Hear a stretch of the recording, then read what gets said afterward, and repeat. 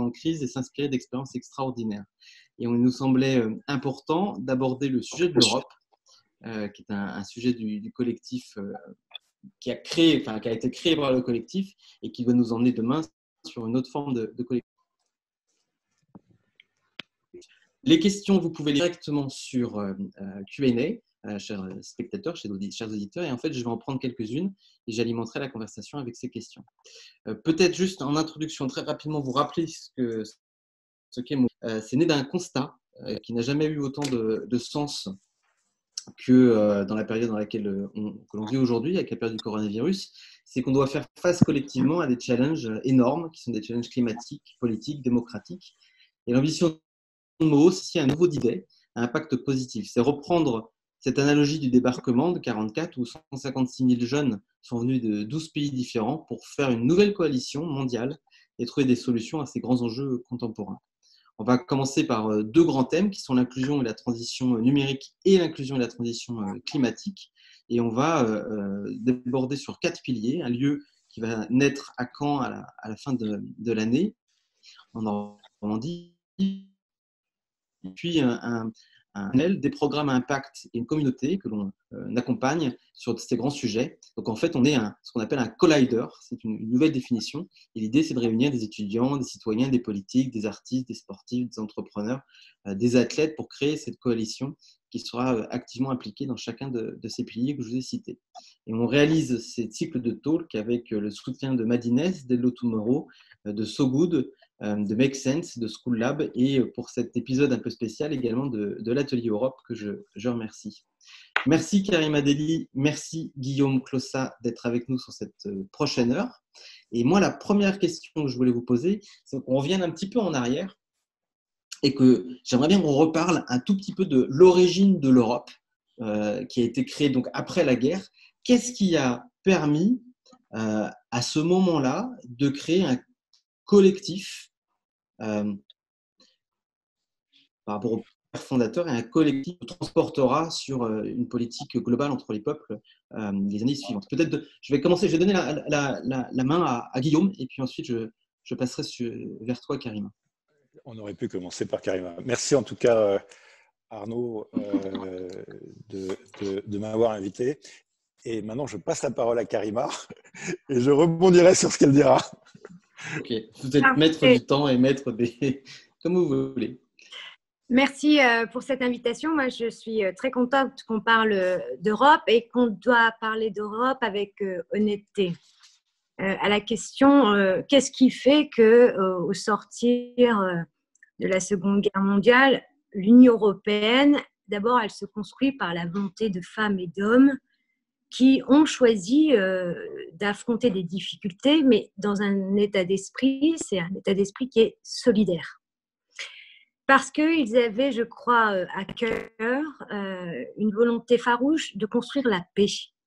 La paix, c'est ce destin commun. Ils n'avaient pas le temps de tergiverser, ils n'avaient pas le temps de se diviser.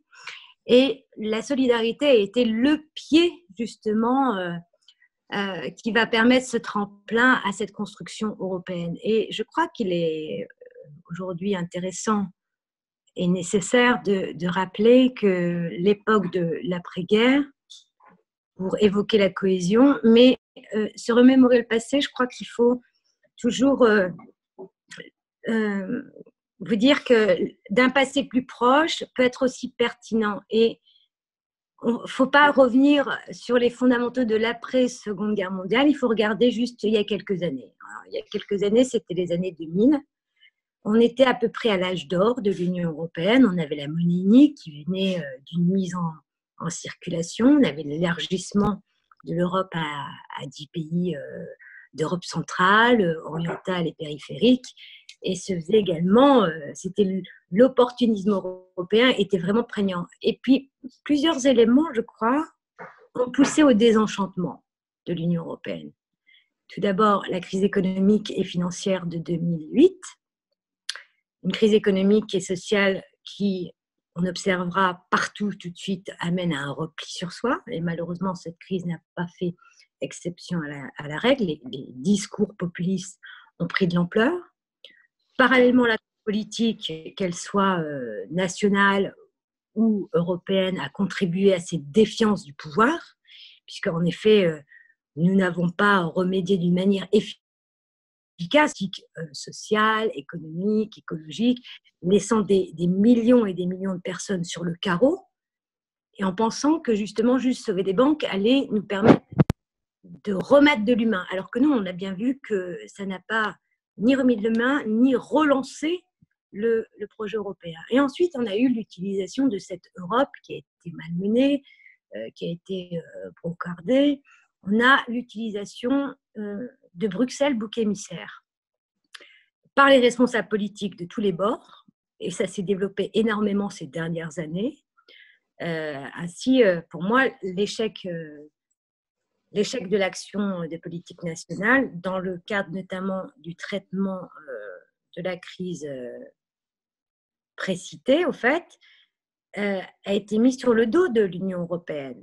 Alors que la responsabilité, elle n'est pas de l'Union européenne. La responsabilité, elle est due notamment au gouvernement. Qui On a eu des gouvernements qui ont agi en tant qu'égoïstes et ça a été très fort. Et on a vu là, à partir de là, le discours un peu traditionnel, europhobe, déjà présent hein, à l'époque euh, sur l'échiquier euh, politique.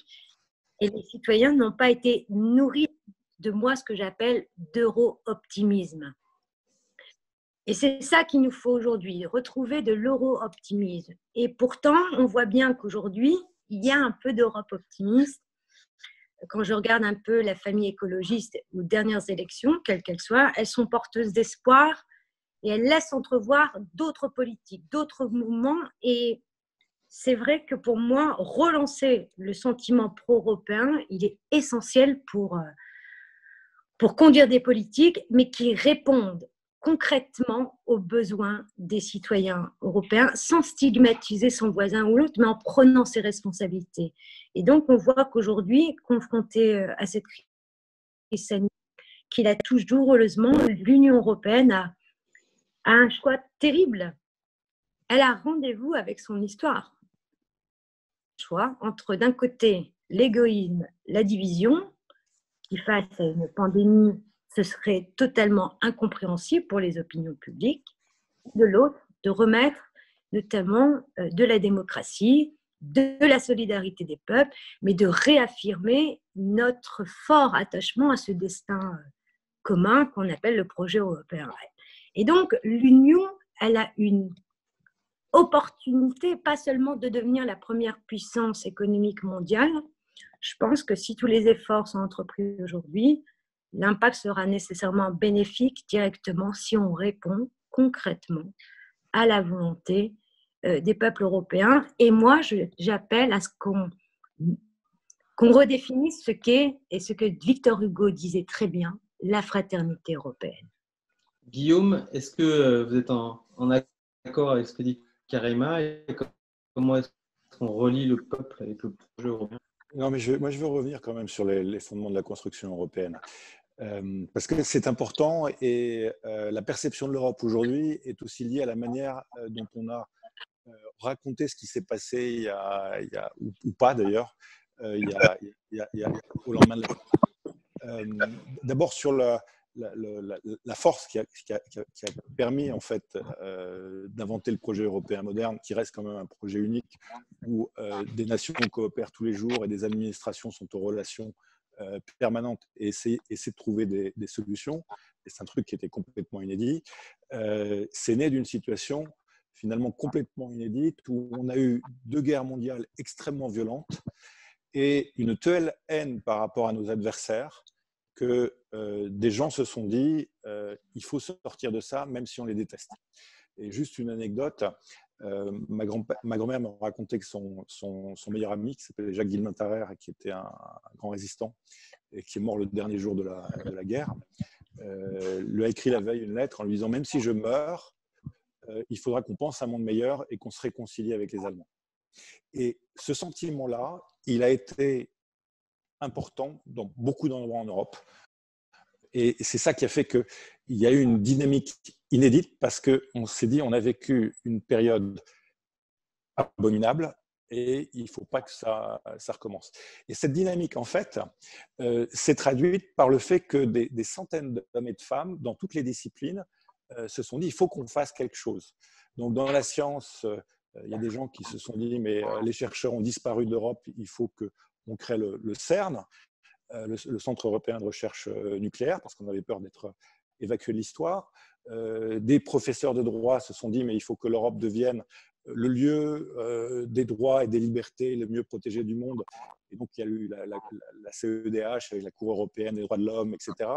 Dans les médias, on s'est dit il faut qu'on partage plus d'éléments et plus d'informations parce que les formats ne, circulaient pas. Et donc, il y a eu l'Union européenne de radio-télévision. Et, et, puis, il y a eu la dimension, euh, politique avec euh, la CK, les communautés, etc. mais c'est un mouvement d'ensemble. Et ça, c'est vachement important.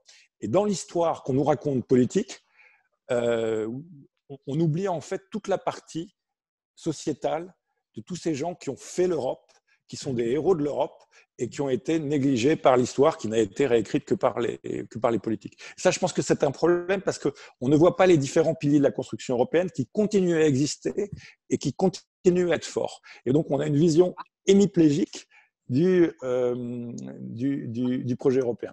Et puis, euh, ce qui est méga important, c'est que l'ADN européen au lendemain de la guerre, c'est un ADN coopératif.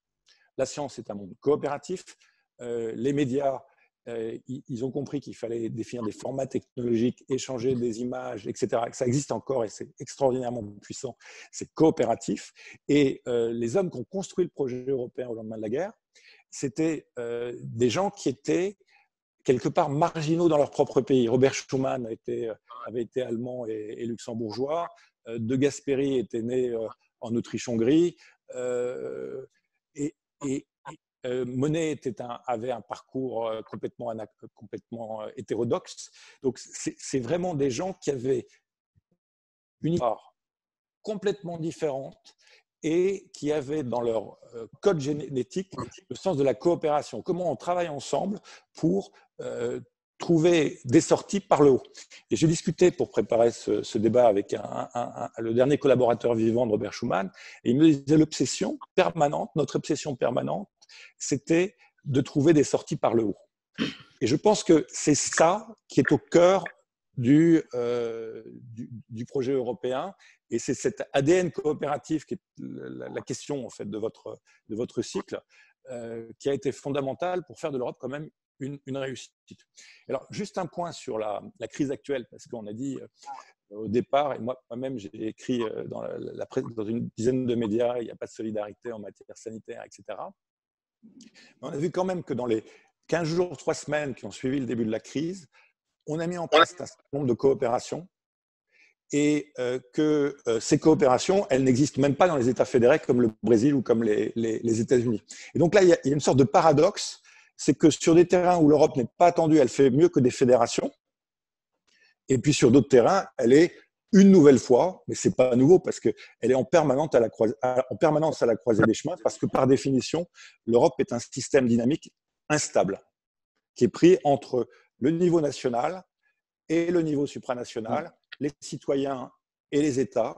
Et donc, c'est des dynamiques extrêmement complexe à faire parce qu'on n'a pas de langue commune et euh, on n'a pas encore euh, suffisamment de démocratie commune, même si à mon avis, il y a, une formidable compétence. Karima, les, projets de coopération, justement, euh, vous, êtes élu Europe Écologie Les Verts, est-ce que on en entend beaucoup parler, le Green Deal ou les projets européens comment dire, de, sur le climat, les enjeux climat, c'est des nouveaux sujets qui peuvent porter l'Europe sur les dix prochaines années, moi, je pense personnellement que euh, la crise climatique va devoir être notre nouvelle boussole européenne. Mais je voudrais quand même rebondir sur ce qu'a ce dit Guillaume Clossat. Guillaume, que je connais depuis longtemps, je voudrais juste faire un petit rectificatif, notamment sur la crise du coronavirus. On aurait pu penser que cette crise, justement, fasse naître en Europe un esprit de solidarité qui aurait permis de dépasser les rivalités des uns et des autres tous les États membres se reconnaissent enfin dans une famille, puisque tous ensemble, nous nous soutenons normalement et nous faisons face à la même crise, puisque la crise n'a pas de frontières. Or, ce soutien, il a manqué au début à un membre de la famille. Les appels à l'aide de l'Italie, pays le plus touché qui n'a pas été entendu. Et pire, on voit que l'Allemagne, la Tchéquie, en mars, hein, ont confisqué ou interdit, et même la France, des masques à leurs voisins, et même à l'Espagne. Et donc, on voit bien que même sur cette crise, qui est une crise sanitaire, où on parle de gens qui, qui meurent, le chacun pour soi l'a emporté sur la solidarité que se doivent les membres de l'Union européenne. Et cette crise est très révélateur, justement, pour moi, qu'il est inacceptable que cet égoïsme a blessé des Italiens, abandonné à nouveau. Parce que moi, j'ai des amis italiens, Guillaume. Et je te le dis, il y a un sentiment aujourd'hui qui est, euh, ils se sentent, ils n'ont, alors déjà, ils ont appelé à l'aide, alors qu'ils n'auraient pas dû. L'Europe aurait dû être justement le volet de protection, mais de faire en sorte que l'aide humanitaire chinoise, russe est arrivée en Italie, euh, là, il y a un problème. Et moi, j'adore la phrase de Jacques Delors, ancien président de la Commission européenne, qui avait tiré la sonnette d'alarme et qui dit très simplement, le climat qui semble régner entre les chefs d'État et de gouvernement et le manque de solidarité européenne font courir un danger mortel à l'Union européenne. Et c'est là la véritable question. Ce sont les, les égoïsmes nationaux qui reviennent vite. Il faut se rendre compte que lorsque des chefs d'État ou de gouvernement se réunissent, ils représentent malheureusement bien trop leur État que le projet européen. Et donc, ils sont observés par leur opinion, par leur presse, ce qui, a évidemment des retentissements en termes de politique euh, intérieure. Et donc, moi, je crois que c'est là où il faut qu'on travaille, Guillaume. Et merci pour votre conférence. On ne crée pas de collectif si on n'arrive pas à penser au-delà des postures idéologiques réelles de la part de certaines et de certains, les personnes, et personne ne peut se mettre euh, à dos son opinion publique nationale dans la prise de mesures euh, nécessaires mais impopulaires. C'est pourquoi moi, par exemple, euh, les pays du Nord comme les pays, on l'a vu, hein, lorsqu'on dit il faut être solidaire et donc il faut créer notamment des fonds d'investissement, ce qu'on appelle les Corona Bonds.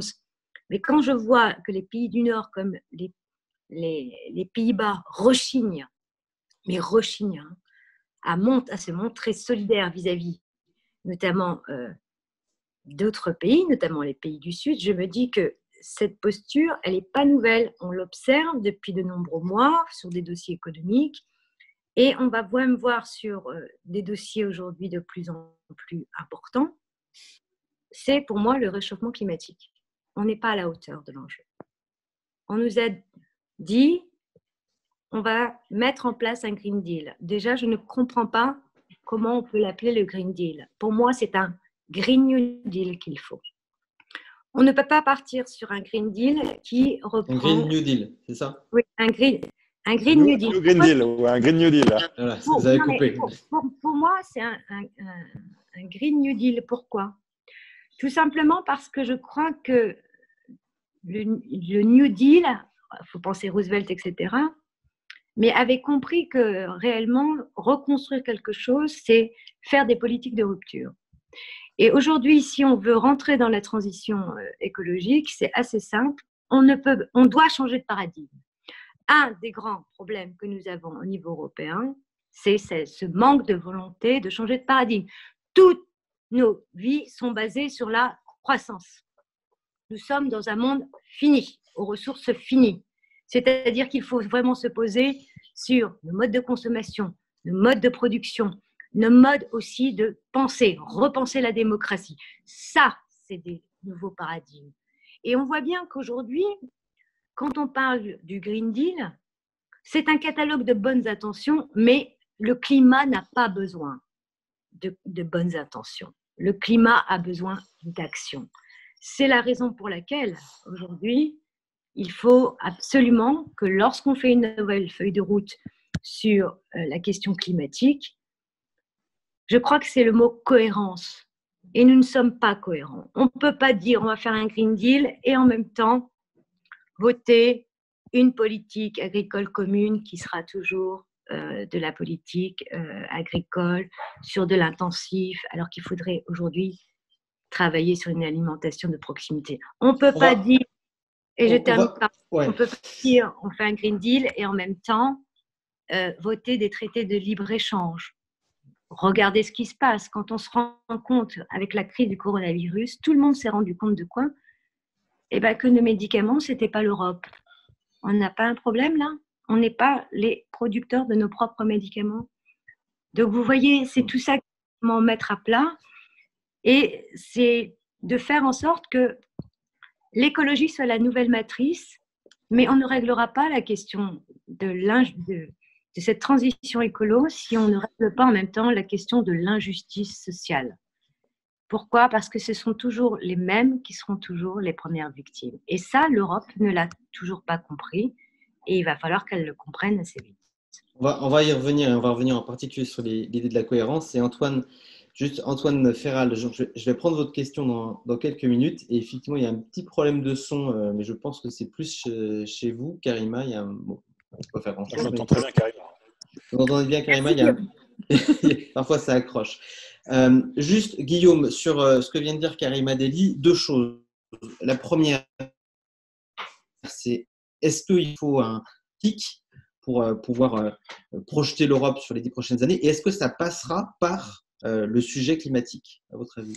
J'ai pas entendu la première question, Arnaud. Est-ce que vous parlez souvent du saut quantique? Vous, expliquez que, l'Europe doit. Bon, je vais vous essayer d'expliquer ce que ça veut dire, mais est-ce que est-ce que ça passe par, par ce fameux saut quantique et est-ce que ça passe par euh, également le, un projet commun qui serait le projet climatique? Est-ce que c'est là-dessus que l'Europe peut rebondir dans les, prochaines années? euh, euh, Non, juste, j'aimerais répondre aussi à, Karima sur le fait qu'on n'est pas parfait entre Européens, mais je peux te dire que les États américains ont été, les États fédérés des États-Unis d'Amérique ont été beaucoup plus cruels que nous. Et donc, on attend de nous qui ne sommes pas une fédération, qui n'avons pas de compétences sanitaires, plus que des États qui sont unis, où on voit aux États-Unis comme au, Brésil une compétition entre États fédérés qui est dix fois supérieure à ce qui s'est passé en Europe. Et donc, je voudrais juste mettre en perspective. Et puis, deuxièmement, euh, sur le, sujet. Euh... Ça n'empêche pas d'être exemplaire. Non, non, mais bien sûr, bien sûr. Mais, d'accord, mais d'accord, mais si tu veux, nous, nous, les Européens, on a tendance aussi à, euh, à culpabiliser alors que les autres font pire et sont parfois mieux organisés. Et donc, euh, moi, je trouve que la réaction qui a eu lieu dans. J'ai écrit euh, un appel avec beaucoup d'Italiens euh, qui est sorti dans, tous les grands journaux sur attention, on est en train de rompre l'Europe faute de solidarité dans le domaine sanitaire il y a quand même eu une réponse qui était plus forte que celle qui existe en Inde, que celle qui existe aux États-Unis, que celle qui existe au Brésil, entre des États et entre des régions. Et je le dis quand même parce que ah, on ne peut pas voir que le, le, verre à moitié vide. Il y a des choses en Europe qui se font et c'est important. C'est important de le souligner parce que autrement, on ne voit que le négatif et ça alimente le populisme. Et, et ça, c'est dangereux. Mais moi, la perception que qu'ont Karima Deli sur le, ce que disait Karima Deli sur le sur les, le, fait que les Italiens n'aient pas aidé, c'est c'est vrai qu'on a fait un certain nombre de choses, mais c'est la, perception citoyenne, elle est quand même là aujourd'hui. Bien sûr, bien sûr, je, je, je, je le dis, mais c'est pour ça qu'il est important aussi de mettre en perspective, parce que euh, le rôle du politique, comme le rôle de l'intellectuel, c'est de mettre en perspective les choses pour que les gens puissent euh, donner une valeur et avoir un avis qui soit fondé. C'est ça la démocratie, et c'est ça qu'on a essayé de faire au lendemain de la guerre dans les États européens. On n'attend pas, pas, pas du politique qui fasse de la prospective des grands mots. C'est pas ce que j'ai dit. Hein. J'ai dit de la, mise en perspective, c'est-à-dire de, oui, mais là, des gens, ce du politique, c'est de l'action. Et c'est là où je dis de manière assez, euh, assez simple, c'est que aujourd'hui, face à ce genre de drame, euh, pourquoi l'Italie n'a pas tout de suite été entendue? Et il y en a une qui a été euh, exceptionnelle, je peux dire, c'est Madame von der Leyen qui a reconnu cette erreur en faisant un mea culpa en plénière, en disant Je m'excuse, on aurait dû écouter les Italiens et faire attention aussi à notre frère. Et là, le politique, il a justement tirer les grandes leçons. Si on veut créer du collectif demain, c'est aussi de faire attention à justement l'ensemble des pays voisins sur lesquels il faut vraiment tout de suite agir. Pardon, je suis tout à fait d'accord. Je pourrais juste répondre aux questions parce que je, je te laisse, répondre euh, sans jamais euh, parce que c'est compliqué de vivre. Donc, euh, ce n'est pas un débat politique, c'est une discussion ici. Euh, l'autre chose, c'est que oui, les Européens ont besoin d'un projet collectif. Oui, ce, projet doit être une, nouvelle donne parce que de toute façon, dans l'histoire, régulièrement, on a besoin de nouvelles donnes parce qu'on a besoin de souffle collectif. Et ce souffle collectif doit s'organiser autour de plusieurs piliers. Un pilier démocratique, et il faut réinventer la manière de faire la, de la, démocratie. Euh, concrètement, parce que euh, on peut agir, même qu'on n'est que citoyen.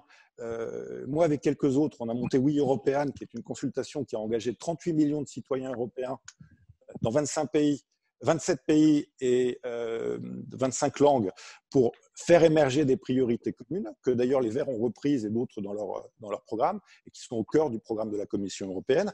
Je pense que aujourd'hui, on est à un état de la démocratie où il faut vraiment être capable de bâtir un espace public transnational et multilingue et d'associer en continu les citoyens. La technologie le permet, les progrès de la traduction le permettent, Maintenant, il faut une ambition et il faut être capable d'innover dans les, modalités. Le deuxième pilier, bien sûr, c'est le développement durable. Mais derrière le développement durable, il y a une question de fond. C'est que moi, je crois que euh, la croissance fait sens, mais ce qui ne fait pas sens, c'est l'attribution de la valeur. C'est-à-dire que euh, marcher pour aller à son travail, ça a beaucoup de valeur. Et ça a une valeur, une valeur qui, est une valeur économique considérable. Euh, avoir du temps euh, pour euh, profiter de sa famille, ça a de la valeur. Manger des choses saines, ça a de la valeur. Et le sujet, c'est que notre modèle économique donne de la valeur à des choses qui finalement ne sont pas si importantes que ça. Et donc, le, vrai sujet, c'est la réorganisation du système de valeur. Et c'est comme ça qu'on peut avoir un vrai, un vrai développement durable. C'est-à-dire penser une croissance qui soit une croissance durable, où finalement c'est un bien-être collectif un bien-être individuel qui progresse. Mais ça passe aussi par l'éducation. Et je crois qu'il n'y a pas de développement durable possible sans un pilier éducatif et culturel qui soit solide. Parce que c'est ça qui nous permet de donner une valeur aux choses. Et donc, c'est sur ces différents piliers, pour moi, que euh, le projet européen de demain doit se co-construire.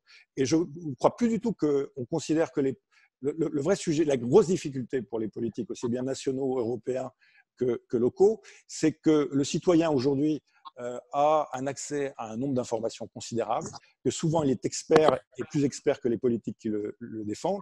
Et notre système politique a été pensé à un moment où finalement on donnait euh, notre capacité de décision à euh, une forme d'élite qui était élue. Et il y a un challenge pour articuler une forme de démocratie participative et la démocratie élective à laquelle je crois, mais je suis conscient qu'elle est complètement remise en cause de manière structurelle. Et puis, il y a, un sujet de fond, et ça, ça m'inquiète, c'est que nos systèmes euh, de société démocratique libérale au sens des, valeurs euh, et de l'économie ont été fondés sur une capacité à avoir une information de qualité. Et moi, ce que je crains, c'est que dans les semaines qui viennent, notre système médiatique pluraliste s'effondre parce qu'il est vraiment à bout de souffle. Il n'y a plus de ressources financières, il n'y a plus de distribution. Euh, les médias sont tous dans le, dans le rouge et c'est le cœur de notre société. Une information de qualité, pluraliste, ouverte, qu'on puisse contredire. Et, ça, c'est inquiétant. Sur euh, ce que vous avez dit, Guillaume, il y a une question d'Antoine euh, qui dit est-ce que l'une des raisons à cela, est, enfin de la, de la, dissociation entre le, pouvoir européen et le peuple, est-ce que c'est lié au fait que l'Europe est loin des préoccupations ordinaires des citoyens français, par exemple, euh, en dehors de cette période de crise? On leur parle d'Europe uniquement tous les cinq ans pour les élections européennes. Ce qui est un sujet qui est euh, C'est vrai qu'on a une séquence tous les cinq ans où on élu un député, c'est le moment où on en parle. Peut-être une réaction des, des deux euh,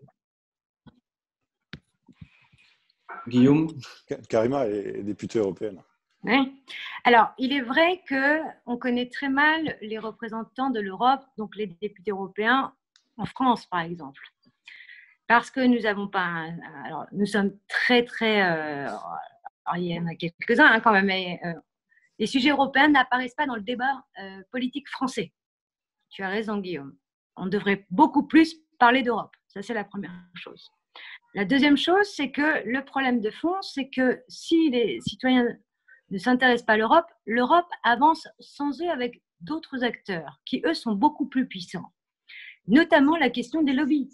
Regardez les lobbies qui, aujourd'hui, influencent en maximum, par exemple, pour détricoter l'ensemble des normes environnementales. Et je peux vous le dire, je suis au premier rang pour le voir tous les jours. Et donc, qu'est-ce qu'a besoin l'Europe? L'Europe a besoin d'un lobby citoyen. Et ce lobby citoyen, il est en train de se mettre en place. On voit notamment avec cette vague de nouvelles jeunesse européenne qui est dans la rue et qui dit, nous, notre préoccupation, eh ben, c'est justement c'est le climat. Et on voit qu'ils viennent un petit peu réveiller les consciences et qu'ils sont de plus en plus nombreux. Mais on n'est on n'est toujours pas assez nombreux parce qu'on n'a pas euh, aujourd'hui euh, réellement des lieux de débat public pour savoir et entendre les citoyens. Alors c'est vrai qu'en France, on a une convention citoyenne sur le climat qui est exceptionnelle. On a des citoyens, 150 citoyens tirés au sort et qui ont un objectif, faire en sorte que les générations mieux, mais surtout de limiter notre réchauffement climatique. Et on voit bien que même les mesures qu'ils prônent aujourd'hui, eh ben, euh, pour les mettre en œuvre au niveau même européen, c'est un petit peu difficile. Et ça, c'est très dommage. Pourquoi? Parce que l'Europe était leader du climat il n'y a pas un siècle. Hein. C'était en 2009. C'était en 2009. L'Europe arrive aux tables de négociation climatique comme le leader, avec des véritables ambitions. Et aujourd'hui, on voit quoi? Qu'aucun pays ne respecte les accords de Paris. Donc, moi, je le dis très clairement, la démocratie, c'est s'occuper des préoccupations euh, des citoyens européens, certes, mais il faut les écouter. Et la première préoccupation des citoyens européens, eh ben, c'est la question écologique. Parce qu'ils ont très très bien compris, les, les citoyens européens aiment l'écologie ils font attention à ce qu'ils mangent, ils euh, font attention à, la condition animale, ils regardent comment ils se déplacent, etc. La seule chose, c'est qu'aujourd'hui, il faut influer de la démocratie à tous les étages. Et je crois que la première chose, c'est, par exemple, lorsqu'on a des réunions euh, des ministres euh, qui, par exemple, des finances, etc., qui sont absolument lui pas accessible et ça c'est pas normal. On doit régler la question de la transparence, on doit régler aussi les questions de d'outils. C'est quand même un scandale que par exemple les pétitions au niveau européen, ça existe, c'est tant mieux. Mais il faut un million de signatures pour que le sujet soit traité. Alors, un million de signatures représentant au moins euh, sept pays. Et quand il y a une pétition qui, qui a le nombre de signatures euh, adéquat, eh ben, on voit que le sujet n'est pas, pas écouté. Par, par exemple, le renouvellement du glyphosate. Les citoyens européens disent on ne veut pas de glyphosate dans nos assiettes. Eh ben, est-ce qu'on a interdit le glyphosate au niveau européen, même si on l'a retardé Ben non. Vous voyez Et c'est ça qu'il faut construire demain, c'est que la voix des citoyens soit beaucoup plus forte que celle qui prône plutôt les intérêts euh, privés plutôt que l'intérêt général. Ce qui répond en, partie à la question de, François. Guillaume, une réaction? Oui, allô? Oui. Vous m'entendez? Très bien. Euh, moi, je, pense que c'est compliqué parce que on n'a pas fixé dans l'émission de l'Europe euh, de répondre pas suffisamment de répondre aux besoins concrets des, citoyens. On l'avait fixé le, long terme. Il y a un problème d'incarnation. Euh, tant que on choisit pas, on choisit nos députés européens mais euh, personne ne les connaît, et ça c'est malheureux, et personne ne connaît non plus euh, euh, les dirigeants de, de, l'Union. Oui. Madame von der Leyen n'est pas encore identifiée, Monsieur Michel non plus. Donc, il y a une difficulté parce que si les gens n'ont pas le sentiment qu'il y a un vrai enjeu, et eh ben, même s'ils ont voté de manière assez remarquable dans tous les États membres, beaucoup plus que la fois précédente, ils, se sentent moins impliqués. Et donc, je pense qu'il y a un problème de désignation, il y a un problème de budget. C'est grâce à des budgets importants que la démocratie, même aux États-Unis, je vous rappelais que le, budget américain fédéral, il était euh, presque du niveau du budget européen avant la crise de 1930. Hein. Donc il faut euh, prendre conscience que c'est l'enjeu budgétaire qui aussi change la donne. Donc là, il y a un sujet. Et, mais en même temps, euh, et je reviens sur la consultation européenne qu'on a faite l'année dernière, euh, quand les gens, alors si on les consulte au niveau national sur l'Europe, ça ne les intéresse pas. Il y a une sorte de paradoxe, parce qu'ils se disent, oui, mais enfin, chacun va réfléchir dans son coin et on ne fait pas émerger de collectif. Donc finalement, on va rester dans le. Mais si on, on, organise une consultation transnationale où on leur dit, voilà, vous êtes en position de proposer pour l'intérêt de tous les Européens, ce qu'on voit, c'est que les gens propose deux fois plus que pour l'équivalent d'une consultation française. Donc, ça veut dire qu'il faut un vrai espace public euh, européen si on veut qu'il y ait de l'engagement. Et la difficulté, c'est comment on passe d'espaces démocratiques qui n'ont été pensés que national à un espace public euh, plurilingue. Et secondo, euh, ce qu'on voit aussi, et c'est très intéressant, c'est qu'il y a une convergence de valeurs entre les Européens et de priorités qui est beaucoup plus forte que euh, celle qu'on peut croire et, qui pousse les politiques à agir. Les cinq priorités qu'on avait vues dans Oui Européenne, hein, c'est une consultation numérique qui utilise l'intelligence artificielle, la traduction automatique, etc. C'est primo le développement durable, qui préoccupait en gros 40% des, citoyens européens partout. Secondo, la dimension, je, je, vais me planter dans l'ordre, mais c'est pas. Non, secondo, la démocratie, qui était un vrai sujet. Et là, les citoyens veulent plus d'informations. Ils se considèrent très mal informés et très mal informés sur l'Europe. Et ils ont le sentiment que euh, les responsables sont, peu contrôlés. Et surtout dans les moyens de l'Europe, euh, ils ont peur que ces moyens soient dévoyés par d'autres. Donc ça, c'est sur le, côté, euh, côté démocratique, mais il y a une envie de participer au débat qui est, forte. Le troisième sujet, c'est la dimension de justice, notamment fiscale. Ils ne comprennent pas pourquoi il y a des, géants mondiaux, américains ou européens, qui sont peu taxés et des petites entreprises, des acteurs qui sont très taxés. Il y a, un vrai sujet d'enracinement local et de justice. La dimension euh, sociale, il y avait une inquiétude déjà sur la santé et sur les retraites. Et, et, enfin, la dimension éducative. Et on voit que ces cinq dimensions, elles sont partagées à peu près partout de la même manière à l'échelle du continent. Ça veut dire qu'il y a la base d'une opinion publique européenne et d'une démocratie européenne. Et le sujet, c'est d'arriver à la construire de manière innovante. Et ce n'est pas du tout, du tout euh, facile. C'est moi ce que j'essaie de faire depuis, depuis longtemps. C'est un problème de récit, c'est un problème de mobilisation de l'ensemble des acteurs qui essaient d'écrire une aventure collective.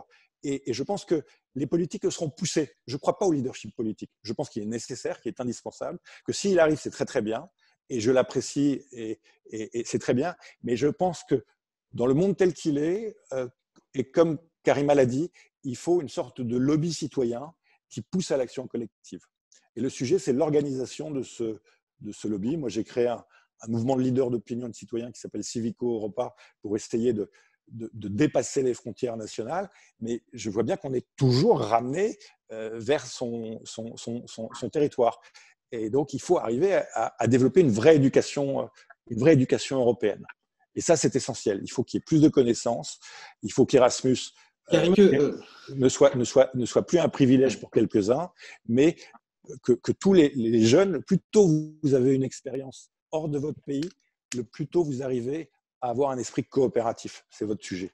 Donc, comment on fait pour que les jeunes entre 8 ans et 12 ans puissent voir le reste du monde, se rendre compte que les autres ne sont pas si différents et que c'est ensemble qu'on s'en sort? C'est ça le sujet pour qu'on ne revienne pas à la situation italienne comme aujourd'hui, ou hier à la situation euh, grecque, euh, et les Polonais considèrent aussi qu'à certains moments, on les a laissés tomber, et d'autres. Donc, c'est ce sentiment d'altérité dans la différence qu'il faut créer très tôt chez les, jeunes Européens.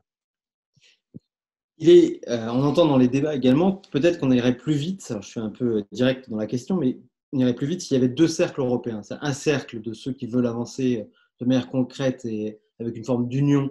Donc on parle souvent de l'Allemagne, la France, d'autres pays, et puis un peu plus éloigné, voire très éloigné. On peut situer aujourd'hui des situations comme celle vécue par Victor Orban, où on a, on a une dissociation même claire avec les fondamentaux européens. Est-ce que vous avez, vous, un, conseil, une, idée? Est-ce qu'il faut qu'on aille sur ces deux cercles européens pour pouvoir avancer et reconstruire, comme vous dites, le récit européen et une, cohésion européenne? Karima? Alors, c'est une question qui, euh, revient euh, souvent dans le débat euh, public et ça, amène à une réponse multiple, et notamment selon les contextes, les contextes historiques, socio-économiques, géographiques, etc. Alors d'une part, il faut dire l'Europe à plusieurs vitesses existe bel et bien, que ce soit de, à travers des textes très concrets adoptés en Europe, par exemple la question de l'euro. Je veux dire, à travers l'euro, on voit bien qu'il y a des pays qui ont adopté l'euro, ils étaient désireux de l'adopter, et, ceux qui absolument pas souhaitent pas du tout adopter l'euro, par exemple. Vous voyez? Euh, c'est pareil pour euh, les mécanismes euh, tels que la coopération renforcée ou des partenariats qui peuvent justement faire en sorte que certains États travaillent plus vite ensemble. Mais il y a également l'Europe du Nord face à l'Europe du Sud sur des questions économiques, l'Europe occidentale par exemple face à l'Europe centrale sur des questions sociales on voit bien que les, États traditionnels, euh, beaucoup plus euh, bah, traditionnellement plus, euh, plus nationalistes, par exemple, que d'autres, eh ben, on voit qu'il y a des conceptions totalement différentes. Et là, on a un problème de fond à gérer. C'est le fonctionnement de l'Union européenne n'est pas facile à comprendre. Pourquoi? Parce que tout fonctionne sur des questions qui concernent les citoyens européens, bah beaucoup. Hein. Tout à l'heure, on a dit que c'était, euh, par exemple, les questions euh, fiscales. Toutes, toutes ces questions sont à l'unanimité. Et, ça, c'est un vrai problème pour euh, l'Europe. C'est-à-dire, on pourrait avancer sur la question fiscale, mais il faut, il ne faut pas des majorités, il faut une unanimité. Ce qui fait qu'il y a toujours un pays qui va dire bah non, moi je ne suis pas d'accord. C'est la raison pour laquelle on, a toujours des paradis fiscaux, par exemple, ce qui est un scandale au niveau européen. Euh, donc ça, c'est un vrai problème institutionnel. La deuxième chose, pourquoi il y a plusieurs, euh, plusieurs euh, visions, et notamment ceux qui veulent avancer et de ceux qui ne veulent pas avancer, c'est aussi une conception difficile de nos cultures. La protection sociale française n'est pas la protection sociale polonaise. Vous voyez? Ce qui fait que malheureusement, on aura toujours des divergences. Et la dernière chose, c'est aussi de savoir. moi, j'aime bien faire ce comparatif, mais il faut connaître euh, et comprendre le fonctionnement de l'Europe. Parfois, euh, on ne s'imaginerait pas que, que, la France pourrait être euh, coupée en deux ou, en trois, voire quatre, au prétexte que les régions n'ont pas les mêmes enjeux. Ben, pour l'Union européenne, normalement, ça devrait être pareil. Et là, on voit bien qu'on euh, a des conceptions tellement éloignées parfois que c'est très, très difficile d'avancer euh, ensemble. Et moi, je me rappelle juste de, Robert Schuman qui avait un peu euh, affirmé dans sa déclaration du, du, 9 décembre 1950, il dit l'Europe ne se fera pas ne, sera, ne se fera pas d'un coup. Alors moi, j'ai tendance à dire que si elle ne se fait pas d'un coup, alors il faut d'abord avancer avec ceux qui veulent et ensuite faire en sorte euh, que les autres euh, nous, rejoignent. Cela étant dit, on est très loin de, de tous les grands qui déjà espéraient les États-Unis d'Europe. Hein. et ça, cette idée-là, euh, elle n'est plus réellement prônée alors qu'elle devrait être dans le débat. Et moi, je, dis ceci parce que je crois que les développements actuels au niveau européen se semblent un peu inquiétants quand on regarde ce qui se passe en Hongrie, euh, lorsqu'on on regarde ce qui se passe en Pologne au niveau des droits fondamentaux, nous devons absolument, dans ce nouveau code demain, mais avoir une Union européenne de combat. Et quand je dis de combat, c'est nous devons nous battre pour convaincre chacun, chacune de cette société humaniste, écologiste, sociale. que nous avons besoin au niveau européen. Si certaines mesures peuvent prendre effet rapidement maintenant par un certain nombre d'États, c'est tant mieux. Mais pour autant, nous ne devons pas euh, oublier les autres et donc nous devons les pousser justement pour aussi euh, venir nous rejoindre sur euh, ce nouveau projet d'une société, je le hein, vraiment beaucoup plus humaniste, écologique et sociale. Et je vois que Karima, ta caméra voilà, frisée. Donc Merci. Guillaume, une réaction? Ouais, je, j'ai vécu de, de, l'intérieur les négociations euh, durant notamment la présidence française ou quand j'étais au Conseil européen. Euh, Karima a parlé notamment des, des négociations sur l'environnement où on avait obtenu à, Paris sous présidence un accord qui, nous mettait en situation de force à Copenhague parce qu'on avait l'accord le plus avancé dans le, monde. Et euh, cet accord, en fait, à Copenhague, on l'a raté parce qu'on n'était pas organisé, on n'avait ni organisé le lobbying mondial pour euh, faire que tout le monde comprenne combien l'Europe avait euh, avancé. Et ça, c'était un problème parce que je suis allé aux États-Unis, j'ai vu les écolos américains, ils n'étaient absolument pas conscients au moment où on négociait l'accord de Copenhague de ce qui s'était fait en, Europe. Donc l'Europe ne sait pas se vendre. elle n'a pas vraiment de diplomatie, même si on a mis en place un service extérieur avec des gens de, très, grande, de très grande qualité. Et on peut obtenir de, grandes choses en mettant tout le monde autour de la table, euh, mais ce n'est pas incarné dans la durée. C'est-à-dire qu'à euh, à la fin de la présidence française, il y a une relais avec un, autre pays qui n'a pas porté dans la continuité euh, le, sujet.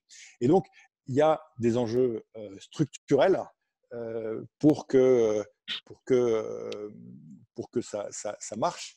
Et euh, ça, il, faut, il, faut, trouver des systèmes. Et le rôle du président du Conseil européen, c'était justement, qui a été créé à ce moment-là, euh, en 2010, d'assurer dans la continuité le portage des grands objectifs euh, européens. On a besoin de cette continuité européenne pour que les accords qu'on obtient ne deviennent pas lettres mortes juste après. Ça, c'est un, c'est un véritable enjeu. Maintenant, sur la, euh, sur euh, le, fonctionnement en noyau dur. Ou... Moi, ce que j'ai vu, euh, c'est que sur tous les sujets, en fait, on n'avait jamais le même noyau dur. Ça bouge. Avec les Nordiques, on est d'accord sur la démocratie, mais on n'est pas d'accord sur le, le, numérique. Avec les Italiens, on est d'accord sur plein de choses. Donc, il y, a un vrai problème à avoir un noyau dur unique. Et donc, on est trop en, en, en géométrie variable. Et moi, je pense qu'il y a une opportunité politique avec le départ des Britanniques qui ont euh, surjouer cette géométrie variable et qui ont euh, surjoué les spécificités pour remettre tout le monde au même niveau. Et euh, la vérité, c'est que 85 ou 90% de l'économie européenne aujourd'hui, c'est l'eurozone. un truc à faire serait de, faire que l'eurozone concerne, qu'il y ait une, confusion, entre, une convergence entre l'Union européenne et la zone euro. Ça simplifierait beaucoup, beaucoup de, choses ça se discute, je sais que ça se discute, mais il faut avoir le courage de le jouer politiquement et c'est complexe. Comme l'accord de Paris il y, a, il, y a, il y a 12 ans sur l'énergie et l'environnement, c'est complexe. Donc il faut trouver des sorties par le haut. Et ce dont on a besoin et ce qui manque, euh, je dirais, dans la génération actuelle, qui est ma génération qui est autour de la table, je pense c'est la génération Erasmus, en fait, qui est euh, la génération au pouvoir aujourd'hui en Europe largement.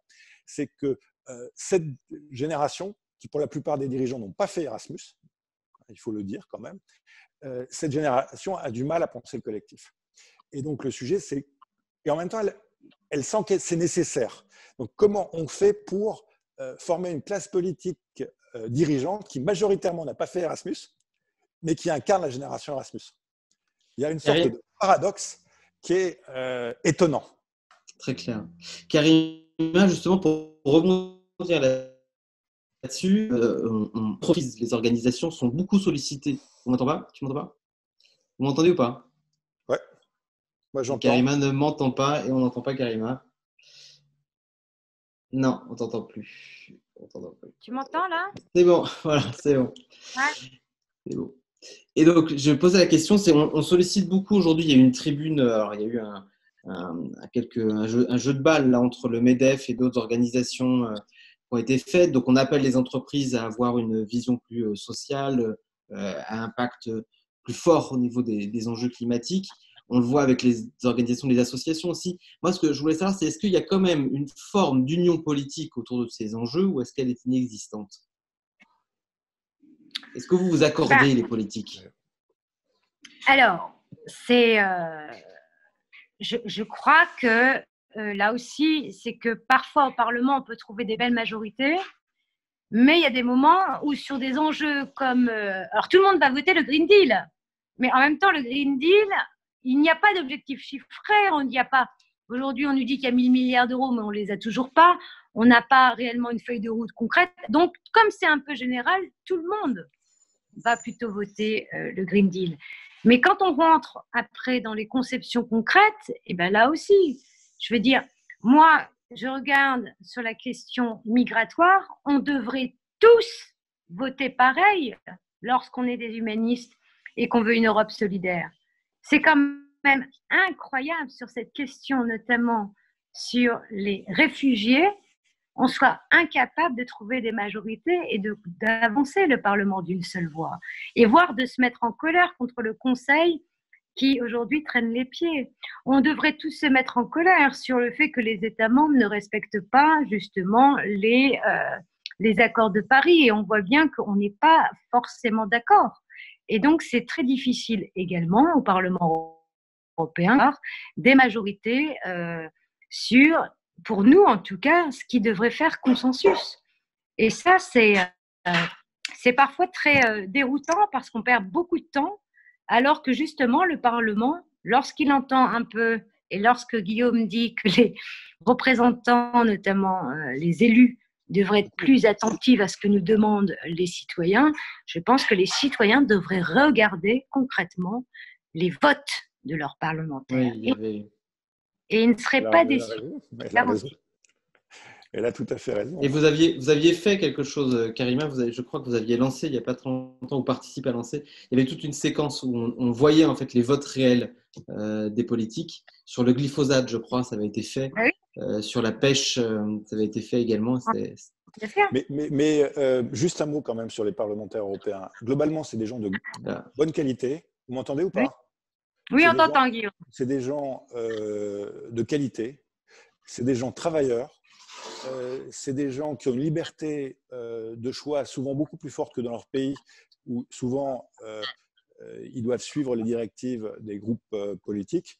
Et euh, on voit même que euh, des, adhérents du Fidesz prennent des positions au Parlement européen qui ne sont pas celles de leur parti, euh, qui sont pas celles d'Orban, qui sont beaucoup plus centrales ou, centristes. Donc, il y, a une qualité du personnel parlementaire européen qui est, véritable. Et, et, la difficulté, c'est qu'ils ont une grande difficulté à vivre dans le débat public national, qui est un débat finalement, où on, ne privilégie que quelques personnalités, que des, traits de. donc, c'est difficile pour un politique aussi bien national qu'européen d'exister. De, et dans le débat public, on privilégie soit des gens qui sont les représentants directs du pouvoir, soit des gens qui ont une histoire qui plaît aux médias, on ne sait pas très bien pourquoi, et qui euh, leur donne une place particulière dans l'écosystème. Donc là, il y a un vrai sujet. J'ai deux, dernières questions et après je, vous libère. Alors, on a un petit peu débordé, j'en suis désolé. J'ai une question de, de, Véro qui est une question à la fois très compliquée et très simple. Euh, quelles sont pour vous les pistes simples à mettre en place pour stopper l'injustice sociale? Vaste débat ou est-ce qu'il y a des choses qui sont aujourd'hui euh, sur les bureaux et qui sont assez claires? moi, je trouve que le, enfin, il y, a deux choses. D'abord, il y a l'éducation. Euh, j'avais fait, j'étais en charge pendant la présidence française de, la démocratisation d'Erasmus. On a créé un droit qui n'est pas encore une réalité. Et euh, ce qu'on avait vu, j'avais demandé des, rapports, c'est que l'horizon d'un gamin en France ou en Europe, c'était 30 km à la ronde. Si, si, si, votre horizon est de 30 km à la ronde quand vous êtes jeune, quelle perspective véritablement vous pouvez avoir? C'est pour ça que moi je me bats pour un Erasmus au niveau des collégiens et des lycéens le plus tôt possible. Vous élargissez l'horizon, le plus vous permettez de réduire euh, les inégalités sociales. C'est vraiment, il faut donner la chance à chacun le plus tôt possible et de manière égale. Par ailleurs, je trouve que euh, il y a euh, un pilier social qui a eu un accord à, à, Stockholm il y a deux ans qui doit être mis en œuvre avec toute une série de propositions qui valent. Et ce qu'a fait la Commission euh, Karima a salué la présidente, je salue le commissaire euh, Nicolas Schmitt, euh, d'origine luxembourgeoise, qui a mis en place un, programme pour le chômage partiel, c'est essentiel. Ça, c'est des choses concrètes. Mais bien sûr, il faut, il faut continuer. Karima? Alors, contre la justice sociale, moi je crois que d'abord, c'est de montrer sur la question de la pauvreté qu'on est capable aujourd'hui. Euh, L'Europe est quand même la première puissance économique. Et donc, on devrait tous être capables de dire, de sortir les gens de la pauvreté. La première chose pour sortir les gens de la pauvreté, c'est reconnaître cette pauvreté. Ça, c'est la première chose. Et de donner des vrais droits. Droit à l'accès à une alimentation, se garantir le droit au logement, de garantir le droit à la mobilité, de garantir d'avoir un revenu décent. Qu'est-ce que ça veut dire? C'est pouvoir assumer notamment ses, euh, ses, besoins les plus vitaux. L'Europe est capable de ça. Qu'est-ce qu'on attend? Ça, c'est la première chose. Deuxième chose sur la pauvreté, c'est que la pauvreté n'est pas un crime. Et pourtant, la pauvreté aujourd'hui, eh ben, elle est condamnée dans certains pays. Regardez les sans-abri en Hongrie qui sont emprisonnés.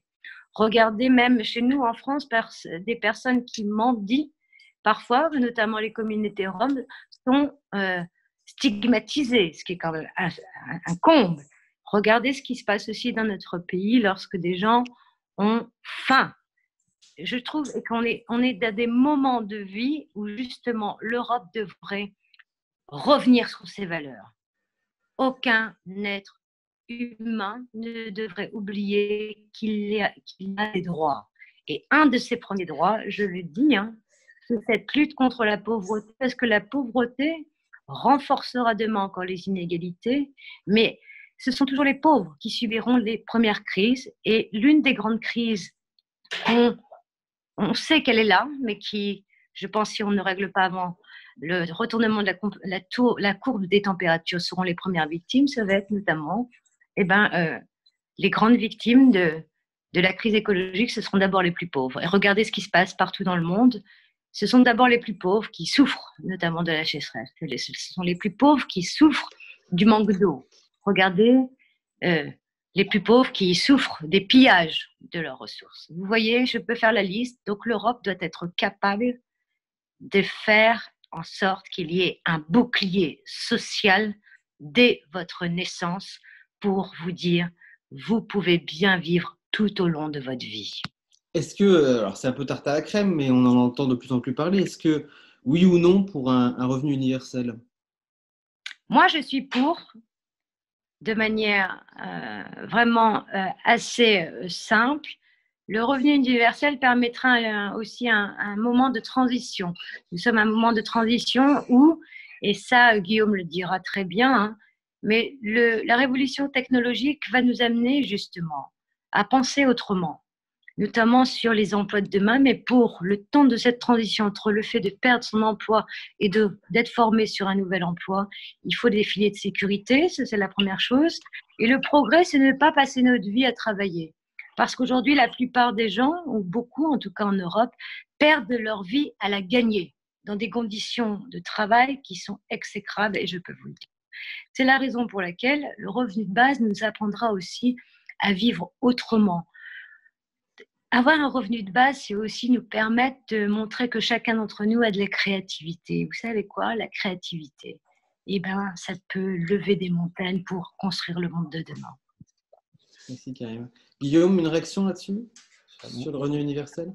Moi, je crois, qu'il faut des filets de sécurité, surtout dans la période dans laquelle on se trouve, qui est une période de, transition, de transformation euh, radicale. Mais de, manière plus fondamentale, moi, je, pense que ce qui fonde nos sociétés, ce qui fonde la société européenne, c'est euh, la possibilité d'avoir une activité utile, rémunérée ou pas rémunérée. En tout cas, euh, je dirais rémunérée, mais pas forcément, pas forcément commerciale, tout au long de la vie et aussi le droit à la paresse. Et c'est cette combinaison, en fait, qui a formé l'ADN européen. Et euh, je pense qu'il faut lui donner un, nouveau souffle. Je pense qu'on peut faire euh, être extrêmement utile à la société sans avoir de salaire extrêmement important et euh, avoir des salaires extrêmement importants tout en ayant une, société, une utilité sociale qui n'est pas immense. Et donc, le sujet, c'est de donner une valeur différente à l'activité et en fonction de son utilité euh, finalement, euh, finalement sociale et pas seulement sociétale et pas seulement économique. Et c'est comme ça qu'on doit repenser la, la, croissance. La croissance, ça ne doit pas être uniquement la, croissance des, richesses matérielles ça doit être la croissance des richesses immatérielles. Et, le vrai sujet, et c'est là que les économistes doivent plancher, euh, c'est de, de, de, faire évoluer le système de valeurs de manière, euh, de manière collective pour avoir un indice de croissance, c'est-à-dire de développement collectif euh, qui ne soit pas uniquement, uniquement économique. Et c'est pour moi la seule voie pour arriver à un développement durable de la, de la planète. Mais j'ai vraiment une autre conviction, c'est que être coopératif, ça s'apprend. Et que nous, par exemple, dans notre système euh, français, on n'apprend pas vraiment à être coopératif. et, et, donc, euh, on ne peut pas parler de coopération si, dès la base de notre éducation, de notre enseignement, on n'est pas au cœur. Et donc, après, on n'est plus. le risque, c'est qu'après, chacun euh, court sur son propre terrain, mais qu'on n'arrive pas à construire collectivement. Et pour moi, c'est un peu trop ça la société française. Et il y a des pays européens qui sont plus exemplaires et qui ont un esprit plus coopératif. Et euh, c'est là-dessus que nous, Français, on doit progresser parce que je ne pense qu'on arrivera à faire l'Europe que si nous-mêmes on progresse. On ne peut pas demander aux autres de progresser si nous ne progressons pas nous-mêmes. Euh, et, et, donc, on a un travail continu à faire comme tous les autres peuples européens. Merci Guillaume. Une toute, toute dernière question. Alors on a, là, on a débordé, donc vraiment. Et pour vous, Karima. les deux dernières. Hein ouais, mais non, la toute dernière, c'était celle-ci. C'était, elle est pour vous, Karima. Elle est, on en a assez peu parlé. C'est la place du leadership féminin. On voit apparaître aujourd'hui. Euh, alors la question est assez simple dans un sujet qui est compliqué. C'est est-ce que oui ou non, on voit apparaître de plus en plus de leadership féminin en Europe? Et est-ce que, à votre avis, c'est ce qui peut faire euh, participer au changement demain de du collectif européen? Alors, c'est très marrant cette question parce qu'il y avait euh, le magazine Forbes qui a, publié un article en mettant en avant que les pays euh, qui s'en sortent un peu mieux dans le coronavirus, ce sont des femmes, justement. Leur point commun, c'est d'être des femmes. Mais moi, je dis juste que le monde d'après, ça doit être surtout un monde euh, égalitaire, avec une représentativité de la population Jusqu'à preuve du contraire, les femmes, c'est la moitié de l'humanité. Alors, elles ne sont pas représentées à cette hauteur dans tous les postes clés. Je peux vous le dire, moi, je suis la première femme présidente de la commission transport et tourisme au sein du Parlement européen depuis la création du Parlement européen. Donc, c'est pour vous dire qu'on a encore du chemin. Et il ne s'agit pas de, simplement de mettre en place des quotas ou de placer euh, des femmes au pouvoir pour remplir des quotas et œuvrer en coulisses pour qu'elles n'aient pas effectivement le vrai pouvoir. Mais il faut un changement de paradigme avec une égalité de, dans la considération de chacun et que le pouvoir euh, réel, pour moi, ne soit pas, euh, ne soit pas exercé par un petit groupe d'hommes blancs, euh, bien, bien, bien pensants, issus de milieux assez riches, bien éduqués. Mais demain, la représentation, c'est que toute personne qui aspire à des fonctions de représentation, quel que soit son milieu, quelle que soit sa religion, quelle que soit son orientation sexuelle, doit être considérée comme une personne qui est capable justement de diriger. Et je crois que c'est ça le problème de l'Europe. Le problème de l'Europe, ça a toujours été justement des hommes. Regardez, même la représentation française est une catastrophe. Vous avez un président, un premier ministre, un président de l'Assemblée nationale, un président du Sénat. Je ne vais pas tous les faire parce qu'ils sont très nombreux. Et moi, je considère qu'aujourd'hui, la représentation n'est pas la représentation de la société. Alors, l'Europe doit se dégourdir justement pour montrer que bah, elle doit être l'incarnation de l'ensemble des peuples et des citoyens. Donc, les filles, allez-y. C'est une très belle, très belle conclusion qui amène sur le prochain. le monde est pierre. Hein. Le monde est pierre. C'est-à-dire que l'Europe est beaucoup plus féminisée que le reste du monde. Eh ben. il faut aussi, euh, je crois qu'on est à l'avant-garde. Et, donc, il faut voir ce qui est positif et il faut aller beaucoup plus loin. Mais je pense aussi qu'il y a un autre élément qu'il faut mettre dans le jeu, c'est l'esprit coopératif. La coopération avec la différence. Qu'est-ce qui se passe C'est que le système finalement. Vous voulez plus partir. Non, non, mais le système promeut les esprits les moins coopératifs, puisque euh, on utilise euh, l'argument de la parité pour euh, mettre ceux qui ont, le plus d'envie, mais pas ceux qui ont envie, de plus construire. Le sujet est là. Il faut aussi que la volonté de construire collectivement, elle fasse partie des critères de choix. Et donc là, il y a un sujet. C'est très vrai. C'est très vrai. Merci beaucoup à, tous les deux d'avoir participé à, ce mot talk. Le prochain mot talk c'est donc jeudi prochain à 12. On invite Eric Bellion, qui est un navigateur et le réalisateur du film euh, Comme un seul homme. On parlera justement de la force par la différence. Je suis absolument désolé de ne pas avoir pu prendre toutes les questions, mais vous voyez que le rythme est, est, plus dense quand on, est, euh, quand on a deux invités. Euh, mais j'espère que vous avez apprécié ce, ce moment avec ce moment d'échange. Merci encore à tous les deux. Merci beaucoup, c'était passionnant. À très bientôt. Merci à bientôt. Au revoir Karima. Au revoir Guillaume.